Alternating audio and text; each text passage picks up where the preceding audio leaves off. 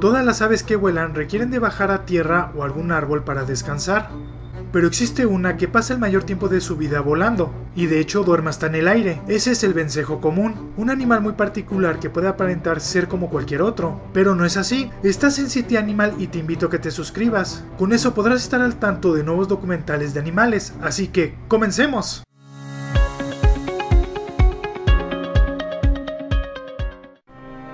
Estas aves son muy importantes, ya que para empezar tienen una amplia distribución en el mundo, pero muy pocas personas tienen la paciencia o la suerte de verlos. Su región es muy amplia y va desde España hasta Rusia, pasando por la región nórdica y algunas porciones de Medio Oriente, pero estos cuentan con otra localidad, ya que son aves que migran al sur año tras año, donde viajan hasta África sobre todo al sur del continente que tiende a ser más tropical y con una temperatura cálida en el invierno del hemisferio norte. Su hábitat es muy difícil de definir, ya que solo se les ve en el suelo en época de reproducción, donde estos ocupan diferentes lugares como árboles, porciones montañosas, sobre todo en las paredes rocosas y aún con eso llegan a colocarse en edificaciones, de ahí pueden estar en diferentes altitudes.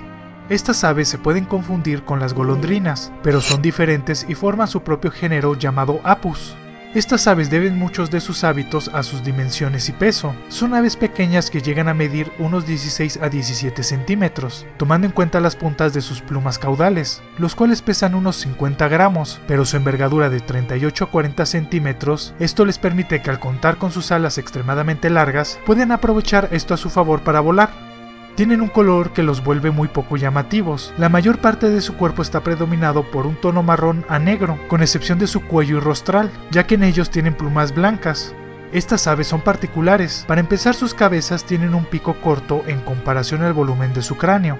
Además cuentan con ojos grandes, lo que provoca que sus picos se vean aún más pequeños. Sus alas al desplegarlas tienen forma de hoz, mientras que sus plumas de las colas son bifurcadas y largas. Esto permite que tengan una conformación distintiva. El conjunto de su cuerpo tiene una conformación aerodinámica muy impresionante que le permite mantener el vuelo por mucho tiempo. Sus patas, aunque parezca que no tienen cuando se les ve volar, son únicas, ya que la mayoría de las aves que tienen hábitos voladores muy amplios tienen tres dígitos en dirección craneal y uno en caudal, pero los vencejos, incluido este, tienen dos craneales y dos caudales, siendo aves cigodáctilas. Esto les permite sujetarse de muchas superficies y es lo que les ayuda a anidar en posición vertical.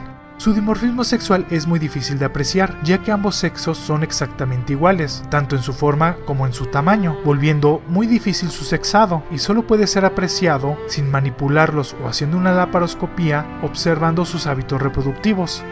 Esta especie llega a ser muy gregaria y a formar grandes parvadas, grupos que pueden llegar a ser de cientos de congéneres, que anidan, descansan, migran y se alimentan la mayoría de las veces en congregaciones, siendo especies diurnas que descansan en forma particular. Estas aves pueden ser las que más tiempo pasan volando. Existen reportes de algunos que llegaron hasta 10 meses sin tocar el suelo. Esto lo logran por su perfil y para descansar utilizan mucho las corrientes de aire, por lo que vuelan a gran altura para mantenerse en pleno vuelo, sin la necesidad de cansarse aleteando. De hecho, para descansar lo hacen por cortos periodos con las alas extendidas de 1 a 16 minutos. Esto lo logran ya que un solo hemisferio cerebral es el que descansa mientras el otro está activo. En un solo día pueden volar hasta 900 kilómetros de distancia, siendo animales muy resistentes y fuertes. La altura de su vuelo depende mucho del clima, ya que si está nublado o hay mucho viento, estos volarán bajo, mientras que si está soleado se alzarán a 2 kilómetros. También son muy veloces, alcanzando 50 a 60 kilómetros por hora. De hecho, por su forma aerodinámica, estos al descender en picada pueden alcanzar una velocidad de 111 kilómetros por hora. Estos llegan a bajar para descansar y a posicionarse en árboles, pero sucede más por la época de reproducción y anidación. Debido a la estructura de sus patas, estos pueden escalar con mucha soltura en diferentes superficies. Son aves que tienen una migración muy amplia. Ellos viajan a África en el invierno, lo que les puede tomar 40 días para llegar por diferentes rutas, debido a la variedad de lugares donde habitan, donde pasan de 2 a 3 meses en este continente, los cuales regresan para la época de reproducción. De hecho, tienen muy buen sentido de la orientación, ya que retornan al mismo lugar donde nacieron. Debido a sus amplios rangos y su migración, es muy difícil hacer un estudio de su territorio, pero por lo general ocupan un espacio de 48 a 61 kilómetros cuadrados para alimentarse, el cual pueden compartir con otros congéneres. Estas aves son muy comunicativas entre sí, por lo que su sentido del oído está desarrollado, pero también es muy particular. Para empezar, tienen vocalizaciones especiales, pero con el pasar del tiempo estos aprenden a efectuar otros sonidos, por lo que mientras más viejos se vuelven, presentan una mayor diversidad de sonidos, con diferencias para marcar eventos como el cortejo, el vencedor de una batalla, para indicar un lugar para comer y así. Aparte utilizan mucho la visión para ubicar su alimento, sus congéneres y demás eventos del exterior. Estas aves son cazadoras muy audaces, siendo insectívoros muy veloces que capturan a sus presas mientras vuelan, atrapando con sus picos insectos voladores y arañas. Estos se ven atraídos por los enjambres, ya que les es más fácil para ello. Para comer, estos pasan volando y los sujetan con sus picos, cosa que lo hacen a una baja altura, y es muy raro que ellos se posicionen en el suelo o en alguna superficie para capturarlos. Mientras están comiendo, van almacenando una cantidad considerable dentro de sus gargantas, mientras que su saliva llega a ser muy espesa. Estos se quedan inmóviles sin la capacidad de defenderse. En cada bocado pueden acumular unos 300 insectos y arácnidos, siendo uno de los principales controladores de las moscas.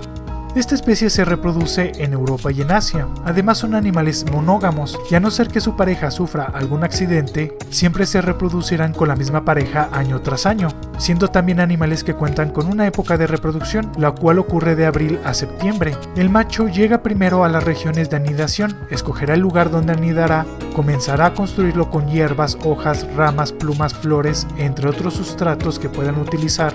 El lugar es muy relativo y puede ir desde árboles, zonas montañosas e inclusive se instalan en edificaciones humanas. Estas últimas las han adoptado muy bien para este evento, por lo que no es raro que lo hagan por la tranquilidad del lugar, compartiendo un espacio amplio con otras parejas que pueden llegar a ser de 30 a 40. Cuando la hembra llega, la cual le toma unos cuantos días, ayuda a la construcción del nido. Las parejas no recurren al cortejo, sino que en su lugar es para encontrar un mejor lugar para posicionarse, lo que puede atraer conflictos constantemente. Esto es para las parejas establecidas, mientras que los jóvenes para atraer a sus parejas dependen mucho del lugar donde hayan posicionado su nido. Ya establecido este y creado su morada, procederán a reproducirse. Algo que es muy curioso es que estos pueden reproducirse en pleno vuelo.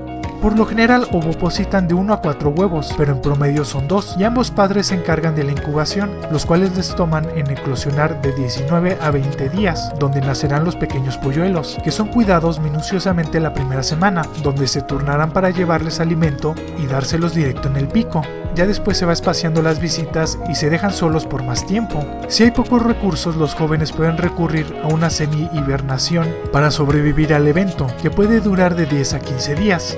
Pasan en el nido hasta 45 días, para después comenzar a aprender a volar y ser tan versátiles como sus padres, entrando la madurez sexual entre los 2 años de edad. Su promedio de vida en estado silvestre es algo longevo para su estilo de vida y al ser aves pequeñas, ya que llegan a vivir 22 años. Al ser aves con amplios periodos de vuelo, la mayoría de los depredadores terrestres no los pueden capturar, pero las aves de presas como halcones, búhos y demás llegan a darles caza, sobre todo el halcón peregrino que es capaz de atraparlos ya que estos superan su velocidad. Al estar en tierra puede ser víctimas de muchos depredadores, a pesar de lo que uno pueda pensar, estas aves se han adaptado muy bien al cautiverio y llegan a vivir 22 años. Es raro verlos en zoológicos y por lo general las aves que caen en estas condiciones son especímenes que se rescataron al estar lastimados o no poder volar. Esta especie en general se le coloca en preocupación menor. En algunos lugares como en España pueden verse invulnerable. Tienen algunos problemas como los pesticidas que acaban con sus presas o ellos mismos se intoxican. Algunos cables que son delgados pueden provocar que al impactarse con ellos, al no poder verlos, mueran o queden sumamente lastimados. Además, los cambios climáticos pueden provocar cambios en sus hábitos migratorios, la estrategia de caza y demás. Su rol en el ecosistema es la de controlar las poblaciones de insectos. Estos ayudan al ser humano para evitar plagas y enfermedades. El evento no es muy amplio por la migración, pero en algo ayudan. En algunos pueblos de Asia sus nidos son utilizados para consumirlos como sopa, un platillo que puede llegar a ser muy caro. Para los ornitólogos y los observadores de aves sabrán el gran valor de poder observarlos mientras vuelan, siendo una proeza al migrar, pero sobre todo al mantenerse en vuelo por varios meses. Los convierte en una especie que te puede asombrar. Esos son los vencejos comunes. Espero les haya gustado el documental. Si quieren conocer más de otras aves, les dejo este documental del Quexal. Aquí te dejo mi último video publicado, recordándoles que tenemos muchos documentales y vamos a sacar más, por lo que suscríbete para estar al pendiente. y en esta parte les dejo mi canal de videojuegos. Espero te puedas dar una vuelta y les agradecería si se pasan por los canales de mis amigos de la Badia Retro. Se divertirán mucho. ¡Nos vemos pronto!